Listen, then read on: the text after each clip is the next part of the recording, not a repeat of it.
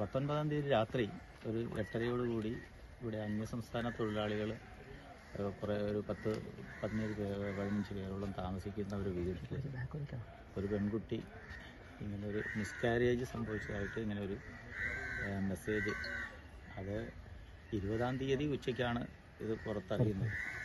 അപ്പോൾ അത് പ്രകാരം അപ്പോൾ പഞ്ചായത്ത് പ്രസിഡന്റിന്റെ ഇൻഫർമേഷൻ കിട്ടുകയും പ്രസിഡന്റ് എന്നെ വിളിച്ച് പറയും.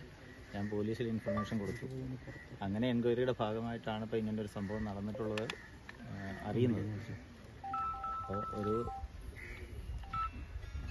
മിസ്കാരേജ് ആണെന്നുള്ളതാണ് പ്രൈമ ഫേസ് ആയിട്ടുള്ളൊരു കണ്ടെത്തൽ. ഒരു മച്ചുറാകാത്തൊരു ഇത് അബോഷൻ പോലെ ഇത് വന്നു. അതിനെ അവർ ഇങ്ങനെ മറവ് അവർ തന്നെ അത് മറവ് ചെയ്തതായിട്ടാണ് കണ്ടത്. അപ്പോൾ ഈ ന്യൂസ് എല്ലാം വന്നതിന്റെ അടിസ്ഥാനത്തിൽ അത് പോലീസും ഫോറൻസിക് വിഭാഗവും പിന്നെ റവന്യൂ എക്സിക്യൂട്ടീവ് മജിസ്ട്രേറ്റ് എന്ന നിലയ്ക്ക് എല്ലാവരും കൂടെ കൂടി ഇപ്പോൾ ആ മറവ് ചെയ്യപ്പെട്ട സാധനം വെളിയിലെടുത്തു. അതിനി വിശദമായുള്ള പരിശോധനകൾക്കും എല്ലാം വിധേയമാക്കിയതിന് ശേഷം മാത്രമേ ബാക്കി വിശദമായ കാര്യങ്ങൾ എന്താണെന്ന് അറിയാൻ പറ്റുള്ളൂ. അത് എൻക്വയറിയുടെയും ഇൻവെസ്റ്റിഗേഷന്റെയൊക്കെ ഭാഗമായിട്ട് നിൽക്കുന്നതാണ്. പ്രശ്നം കൊണ്ടുണ്ടായ സംഭവങ്ങളാണോ ഇങ്ങനെ കുഴിച്ചിടാനൊക്കെ?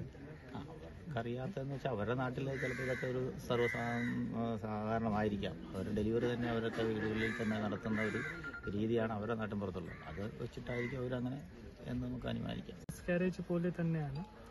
രണ്ട് ദിവസം മുമ്പ് ഉണ്ടായ സംഭവമാണ്. അതിനുശേഷം പ്രൈമറി അവൻ ഇത് പിടിച്ചു പോയി പിടിച്ചു പോയ ശേഷം അവൻ പെട്ടെന്ന് ഇതൊന്നും ഇത് ബാക്കി അണ്ടർ ഇൻവെസ്റ്റിഗേഷൻ ആണ്. പ്രൈമറി ഇൻവെസ്റ്റിഗേ പ്രൈമറി ഇൻവെസ്റ്റിഗേഷൻ അതുപോലെ തന്നെയാണ്. ഫോറൻസിക് റിപ്പോർട്ട് വന്നാലേ ഉള്ളൂ ഇനി ബാക്കി.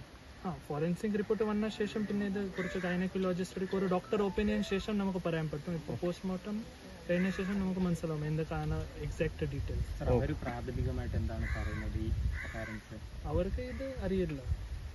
പ്രഗ്നൻസി അറിയില്ല. അവർക്ക് പ്രഗ്നൻസി അറിയില്ല. കുറച്ച് ഇത് വയറ് വേദന ഉണ്ട്. വേദന ശേഷം അത് അവൻ ഇത് ബാത്റൂമിൽ പോയി പിന്നെ ഇത് ഉണ്ട് അവർക്ക് വേറെ അറിയില്ല.